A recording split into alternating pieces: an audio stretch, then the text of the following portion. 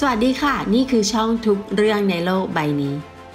วันนี้เรามาดูเครื่องบินขับไล่แฮร์ริเออร์ที่ขึ้นและลงในแนวดิ่งเหมือนเฮลิคอปเตอร์กันค่ะ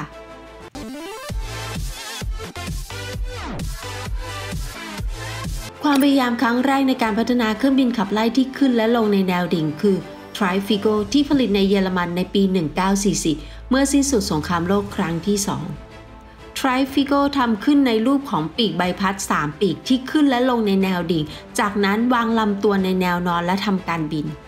การพัฒนาหยุดลงเมื่อสิ้นสุดสงครามโลกครั้งที่ 2 ในขณะที่มีการสร้างและทดสอบต้นแบบ ไม่แน่ใจว่าคุณจะจำได้ไหม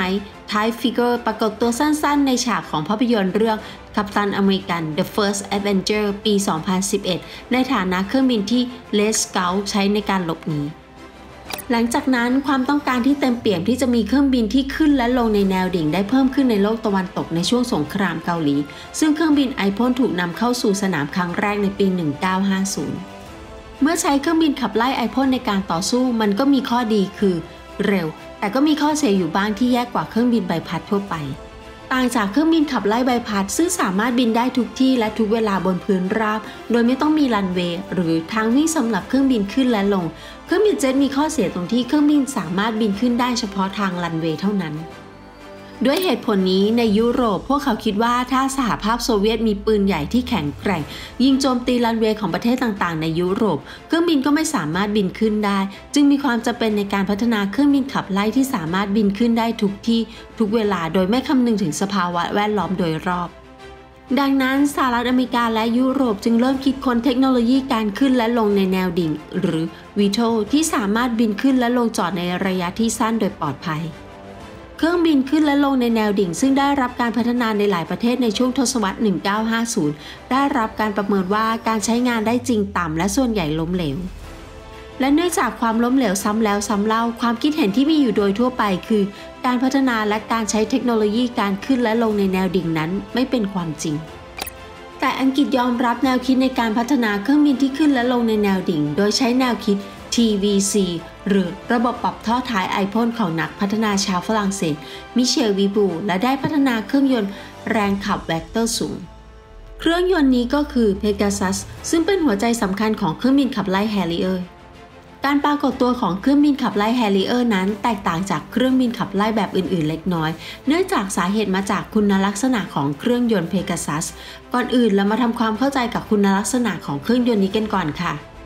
ประการแรกคำอธิบายสั้นๆ ของเครื่องยนต์ไอพ่นคือ การดูดอากาศ แรงอัดอากาศ และฉีดเชื้อเพลิงเข้าไปในอากาศอัดที่อุณหภูมิสูงเพื่อสร้างแรงขับ เครื่องยนต์เพกาซัสสร้างขึ้นเป็นเครื่องยนต์กังหันแก๊ส โดยใช้เครื่องคอมเพรสเซอร์ 2 ตัวและเทอร์ไบน์2ตัว เพื่อเพิ่มประสิทธิภาพของเครื่องยนต์ และได้รับการพัฒนาเพื่อปรับปรุงประสิทธิภาพและแรงขับ โดยการอัดอากาศด้วยแรงดันสูงและแรงดันต่ำ นอกจากนี้เครื่องยนต์นี้ที่ติดตั้งบนเครื่องบินขับไล่แฮริเออร์ยังมีหัวฉีดเวกเตอร์แรงขับ 4 หัวสำหรับการขึ้นและลงจอดในแนวดิ่ง และหัวฉีดสามารถขยับปรับได้จาก 0 องศาถึง 98 องศา สาเหตุที่ทำให้ขยับได้สูงถึง 98 องศาแทนที่เป็น 90 องศา ก็คือการทำหน้าที่เป็นเสมือนเบรก เมื่อเปลี่ยนอยู่ในสถานะ hovering หรือการบินลอยตัวอยู่กับที่ในอากาศที่ระยะสูงคงที่ ความเร็วเป็นศูนย์ในระหว่างการบิน และเพื่อรักษาสมดุลของเครื่องบินในสถานะหยุดนิ่ง หัวฉีดสำหรับการควบคุมได้รับการติดตั้งเพิ่มเติมที่ด้านหน้า และส่วนด้านท้ายและปีกของเครื่องบินขับไล่ ต้องขอบคุณหัวฉีดเหล่านี้ที่ทำให้แฮร์ริเออร์สามารถถอยหลังและหมุนรอบในตำแหน่งกลางอากาศได้ ช่องลมเข้าขนาดใหญ่ซึ่งเป็นหนึ่งในคุณลักษณะของเครื่องบินขับไล่แฮร์ริเออร์ถูกทำให้มีขนาดใหญ่เพื่อเพิ่มปริมาณอากาศเข้า ซึ่งไม่อย่างนั้นจะรับอากาศไม่เพียงพอต่อการรักษาการขึ้นและลงในแนวดิ่ง ช่องรับอากาศขนาดใหญ่เหล่านี้สร้างแรงต้านอย่างมากในระหว่างการเคลื่อนที่ด้วยความเร็วสูง ซึ่งเป็นหนึ่งในสาเหตุหลายประการที่ทำให้แฮร์ริเออร์ไม่สามารถบินด้วยความเร็วเหนือเสียงได้ และบนพื้นฐานของการพัฒนาของเครื่องยนต์เพกาซัสที่เกิดขึ้นในลักษณะนี้ ในปี 1957 ฮอว์เกอร์ซิดลีย์แห่งอังกฤษ ได้เริ่มโครงการ P1127 ซึ่งเป็นธุรกิจเครื่องบินขึ้นและลงในแนวดิ่ง และในปี 1960 3 ปีหลังจากการพัฒนา เครื่องบินต้นแบบได้รับการพัฒนาและการบินครั้งแรกก็ประสบความสำเร็จ และเครื่องบินขึ้นและลงในแนวดิ่ง เครื่องแรกที่ใช้เครื่องยนต์ไอพ่นก็ปรากฏตัวขึ้นในโลก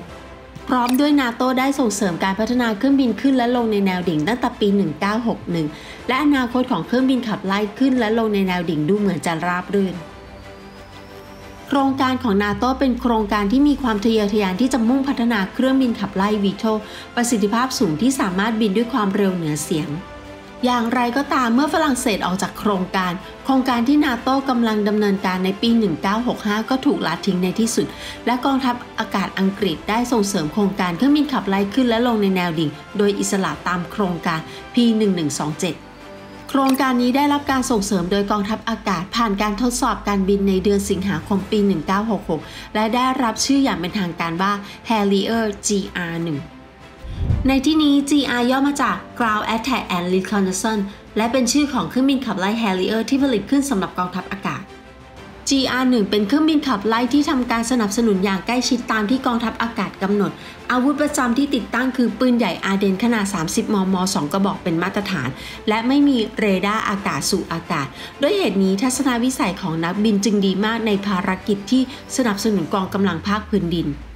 ในอีกด้านหนึ่งกองทัพเรืออังกฤษเนื่องจากงบประมาณทางทหารที่ลดลง เรือบรรทุกเครื่องบินที่ประจำการอยู่คือ Ark Lawyer ถูกปลดประจำการ และได้มีการแนะนำเรือบรรทุกเครื่องบินเบาชั้น Invisible Class เมื่อเครื่องบินขับไล่ F4 Phantom ที่มีอยู่ มีระยะการบินขึ้นและลงจอดยาว ใช้ไม่ได้กับเรือบรรทุกเครื่องบินลำใหม่ในขณะนั้น จนกระทั่งในปี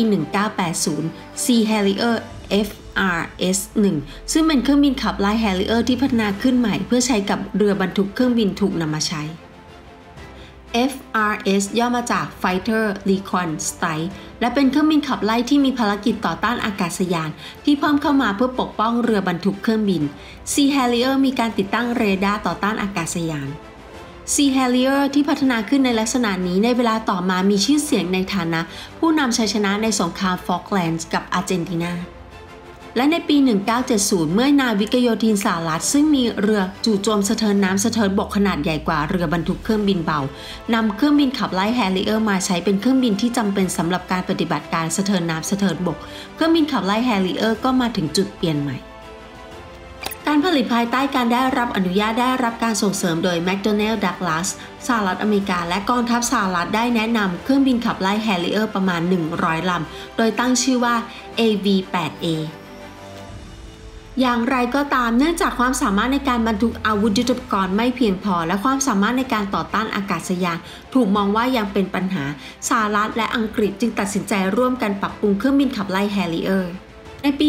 1975 รัฐบาลอังกฤษซึ่งมีสถานะทางเศรษฐกิจไม่ดีพอที่จะได้รับเงินช่วยเหลือจาก IMF ในที่สุดก็ยกเลิกแผนพัฒนาต่อไป ดังนั้นภายใต้การนำของรัฐบาลสหรัฐจะมีการลงนามข้าตกลงระหว่าง McDonnell Douglas แห่งสหรัฐอเมริกา และ Base System แห่งอังกฤษ ซึ่งได้ซื้อซิดารีซึ่งพัฒนาเครื่องบินขับไล่ Harrier สหรัฐอเมริกาเป็นผู้รับผิดชอบค่าใช้จ่ายในการพัฒนาทั้งหมด และสิทธิ์ในเครื่องบินขับไล่ Harrier ถูกโอนไปอย่าง McDonnell Douglas แห่งสหรัฐอเมริกา โดยมีเงื่อนไขว่าเบของอังกฤษจะถือหุ้น 40%ในการผลิต หลังจากนั้นสหรัฐอเมริกาได้ออกแบบส่วนลำตัวของเครื่องบินขับไล่แฮร์ริเออร์ใหม่ตามหลักอากาศพลศาสตร์ และพัฒนา AV8B2 เครื่องบินขับไล่แฮร์ริเออร์รุ่นใหม่ที่ใช้เครื่องยนต์เพกาซัสใหม่ และใช้วัสดุคอมโพสิตน้ำหนักเบาเครื่องบินขับไล่แฮร์ริเออร์รุ่นใหม่นี้ถือกำเนิดขึ้นในฐานะเครื่องบินขับไล่รุ่นใหม่ที่แตกต่างจากเครื่องบินขับไล่แฮร์ริเออร์รุ่นแรก เนื่องจากติดตั้งระบบดิจิตอลและอุปกรณ์ระบบการบินใหม่ เครื่องบินขับไล่แฮร์ริเออร์รุ่นใหม่ AV8B2 ประสบความสำเร็จในการบินในเดือนพฤศจิกายน 1981 และเข้าสู่ขบวนการผลิต